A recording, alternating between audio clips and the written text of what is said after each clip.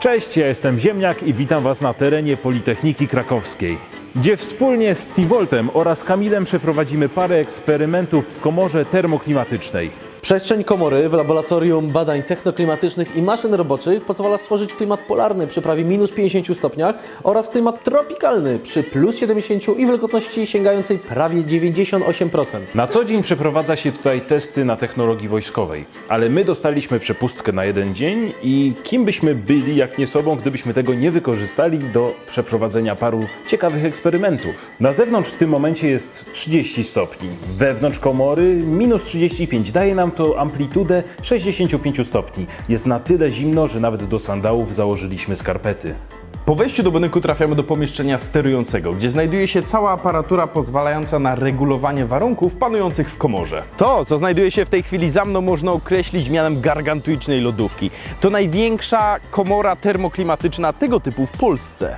Aby dostać się do środka widocznego przez jedno z okien, musimy przejść przez śluzę odgrodzoną ogromnymi drzwiami, ogranicza zmiany temperatury panującej w środku. Wnętrze komory to wielka przestrzeń pozwalająca na przeprowadzanie badań. Wszystko wjeżdża do środka tymi wielkimi drzwiami, które znajdują się za mną, a maksymalna masa badanych obiektów to prawie 50 ton.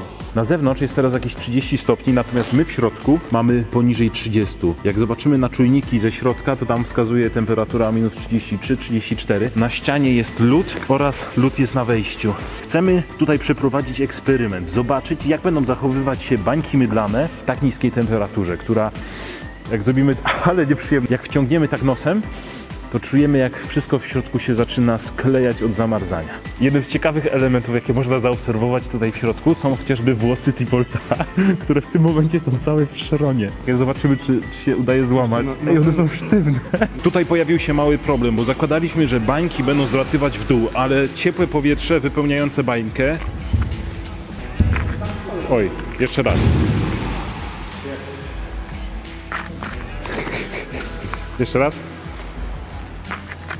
O, widać jak ta bańka zaczyna mi uciekać zamiast przyjść do mnie, ale jak tylko powietrze w środku się ochłodzi, to taką banieczkę, no ta jeszcze nie była do końca zamarznięta, ale ta przychodzi tutaj. Można zobaczyć, jest twarda, jest. Żeby pokazać Wam lepiej ten efekt, wykorzystamy do tego światła, dlatego że bańka w momencie pęknięcia rozpada się na miliony kawałeczków. Uwaga! widać, jak zaczyna powoli zamarzać. I w momencie, jak zamarznie ją walniemy, można ją skruszyć.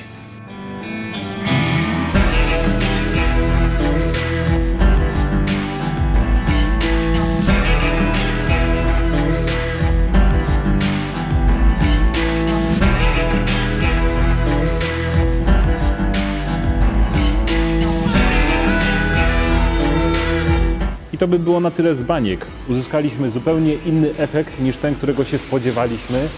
Bańki zaczęły zamarzać, tak jak widzicie tutaj. I ta bańka była zupełnie inna w dotyku, tylko niech zejdzie, niech spadnie. O, robi się z niej taki flak. A najlepszym elementem jest to, że jest teraz mega, mega delikatna. Nie rozbija się jak spadnie na ziemię i można nią zrobić tak.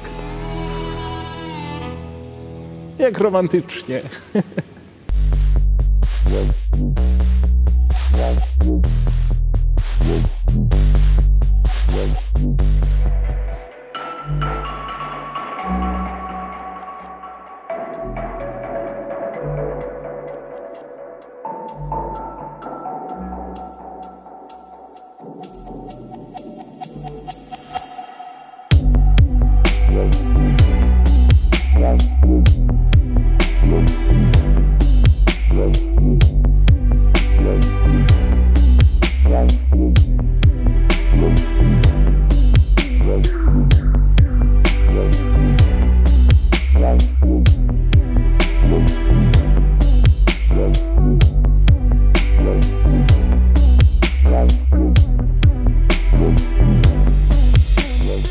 I komora niskich temperatur to jedyne miejsce, gdzie można zrobić bałagan bańkami, bo zostają na ziemi.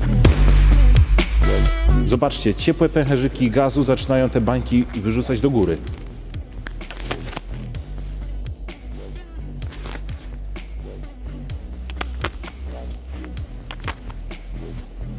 gdzie normalnie masa samej cieczy sprawiała, że te bańki leciały w dół. Dopiero jak zrobią się chłodne, zamieniają się w kryształki przypominające folię.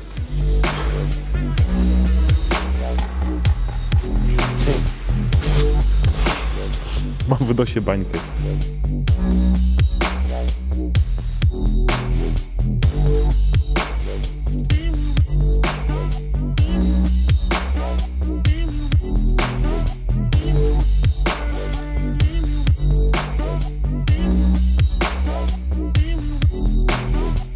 Przejdźmy jednak do tematu. Co się stanie, jak wystawimy wodę na niską temperaturę? Jeżeli weźmiemy teraz wodę i spróbujemy ją wylać w środku, to utworzymy kryte lodowisko. Tylko to będzie wymagało chwili czasu, żeby ta woda zdążyła zamarznąć. Mamy nawet łyżwy.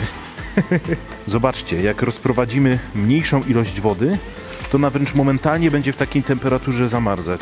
Dobra.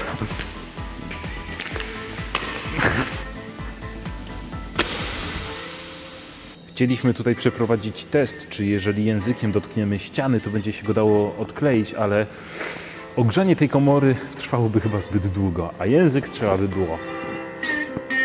Po dwóch minutach wylana przez nas woda zdążyła zamarznąć i stworzyć mini lodowisko. A jak najlepiej sprawdzić naszą nowo powstałą taflę? Oczywiście na łyżwach. Jesteśmy chyba pierwszymi twórcami, którzy w środku lata w komorze niskich temperatur testują świeżo wylaną wodę jako lodowisko. Jeżeli podobają się Wam takie szalone pomysły, zostawcie łapę w górę, żeby w przyszłości pojawiło się coś równie fajnego. Ta temperatura jest dosyć specyficzna, bo zobaczcie na to.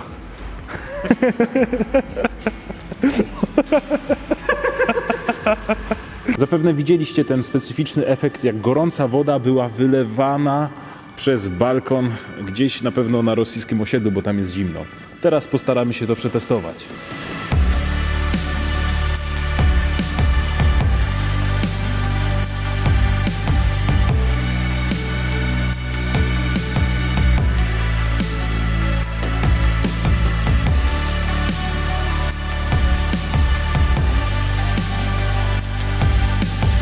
Do tej pory rzucaliśmy naszą zagotowaną wodą pod lampami, żeby wyglądało to ciekawie, a teraz po prostu chodzi na o wysoką skalę, tak więc jedziemy!